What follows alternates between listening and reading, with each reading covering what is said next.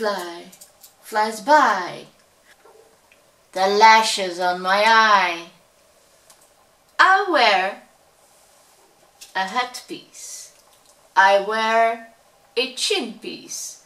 I wear a necklace and all blingity jazz. And if you want to see how I created this look, you'll just have to keep on watching as it's getting started right now. Hello my darlings, today I want to do a look with this headpiece that I made yesterday but I know it covers a lot of my forehead. I had in mind doing almost like a tribal tattoo gothic makeup look. I'm gonna use this white pencil to make a line. If I put it the farthest back, the line comes around there. So that I know to where my makeup maximum may come or it's lost behind my headpiece. But I wanted to show you what it was like on and how it is when it's on my head and knowing to where I can go. As I showed you before, I have made me a headpiece and with wigs it still comes pretty high or low on my forehead. So where that is gonna hang, dangle or fall, I have put on that white line and I also made me a chin piece and I'm gonna put a line there too. So now I can take these off. Now, as I just showed you, I want to do a look that has got gothic. It's, it's tribal, like a tattoo, but then all in makeup and I would like to have it symmetrical. I know that sounds stupid and it is, but I would love to have a lot of shading in this look. I use this completely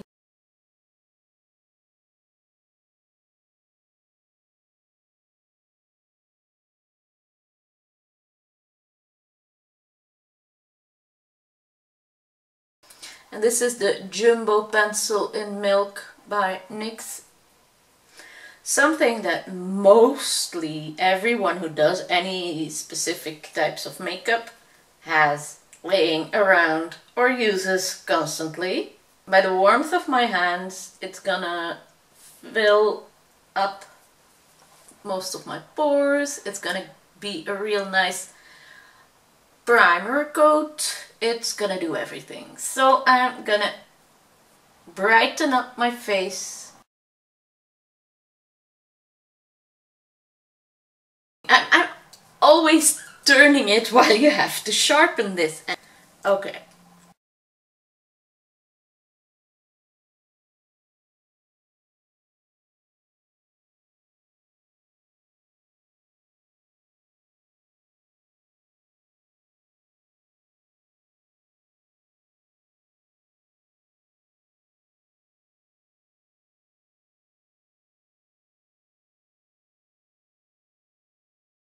I don't have a reference picture. Now I'm setting this very lightly with translucent powder.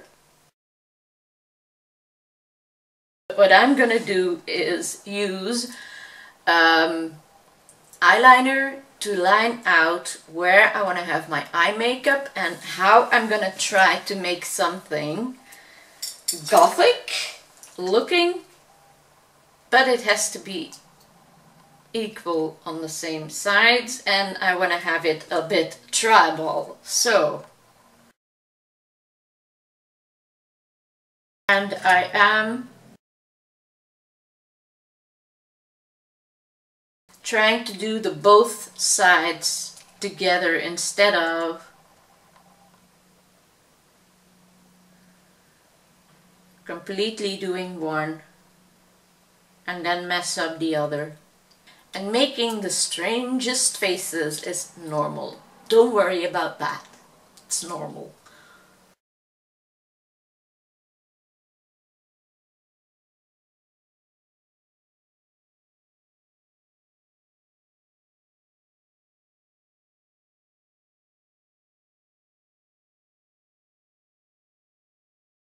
If you would have stencils or stick-on tattoos, that is so much more easy. Now I'm looking like a clown while I'm gonna be something totally different.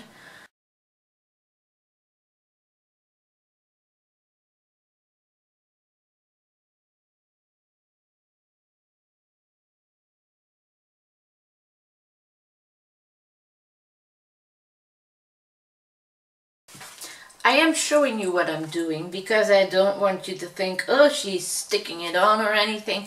But it is very time consuming, so I will speed you through this entire drawing and I will come back to you once I'm absolutely gonna do the eye makeup and the shading of the rest.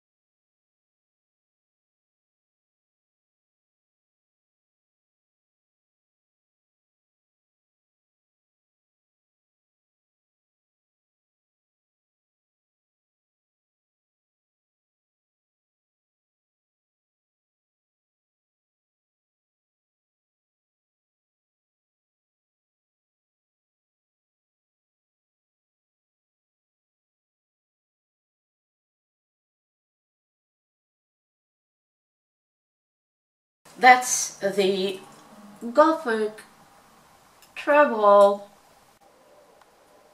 sign that I just colored in with cream liner.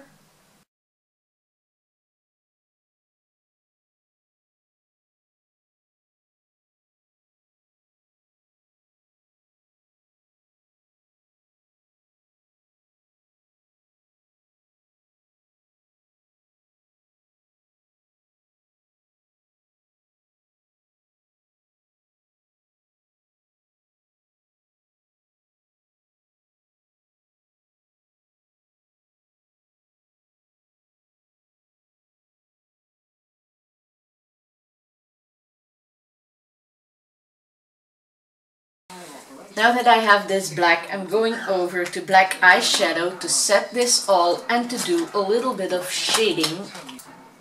But I'm starting by setting this. The flat, rounded brush.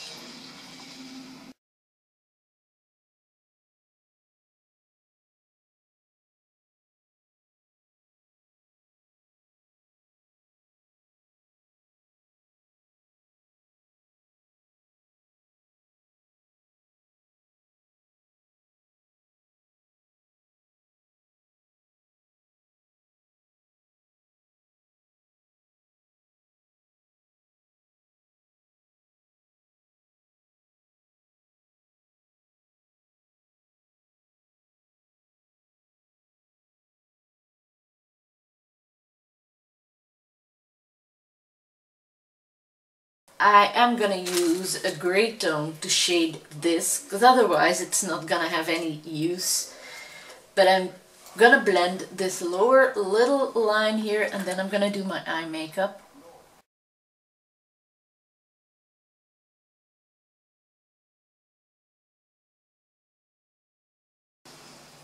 Gonna start with a gray eyeliner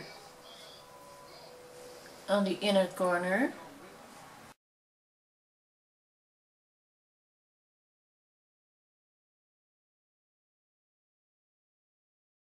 and I'm gonna start with this light gray onto this cream to have a gray gradient effect. With another one of these fine detail brushes. Now with a flat applyment brush and the same gray, I'm gonna more round this off.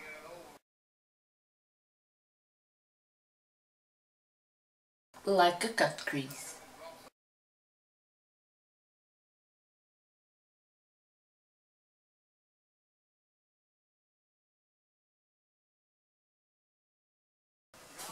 Love that. Using this color to shade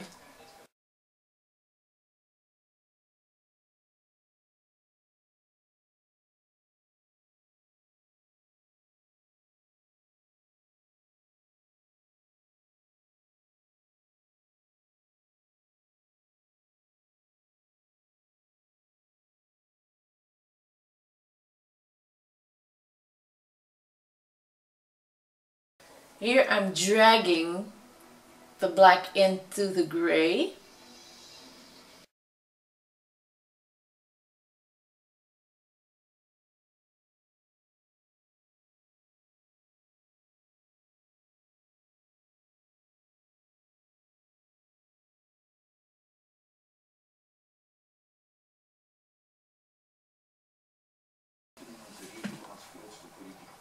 That's what I'm gonna do. There, too. Now I'm gonna shade where my brows should start.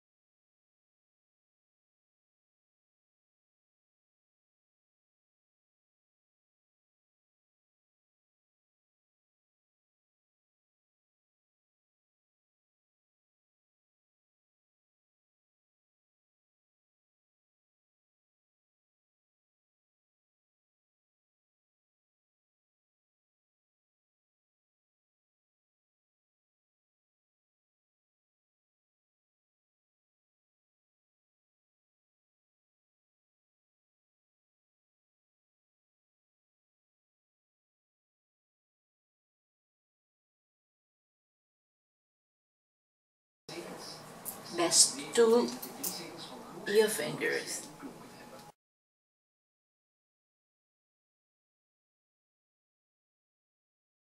Now I gotta find a color that is going to be the center color of this look. And I was thinking about purple, but I'm having a little bit of doubt. Gonna line my lips with a brownish, reddish color, but I will fill them in with a bit of a nude color.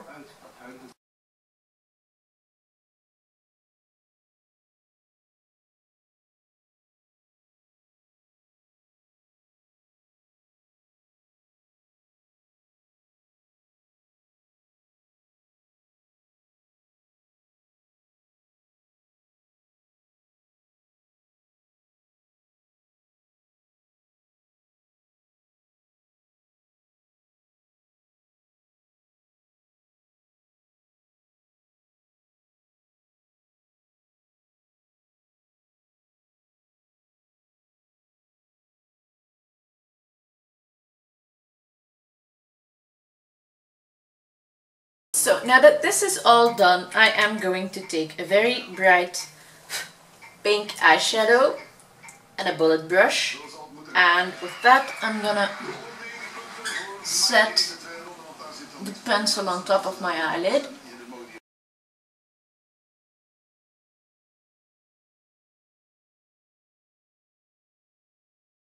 I don't know if there's still anything left in this, but I'm gonna try to do my inner tear duct. The line extra on top of this black.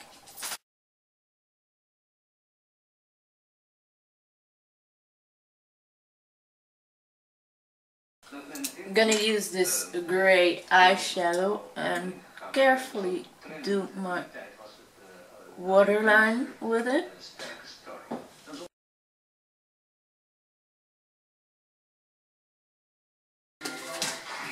Then I am going to take a lash comb because I want to go through my lower lashes before I put on some mascara.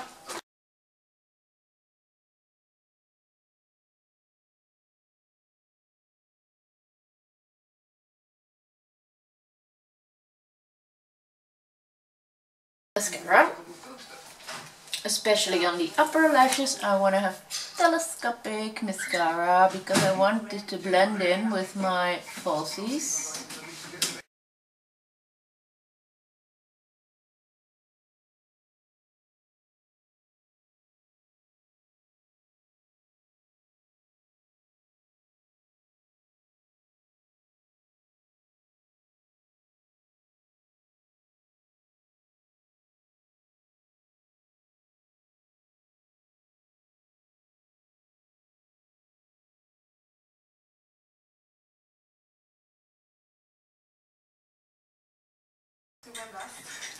There, that's that. Now, what I am gonna do is shade here and there with a pink, but this is a little bit too bright, so I'm gonna go more to a soft pink or maybe even a blush.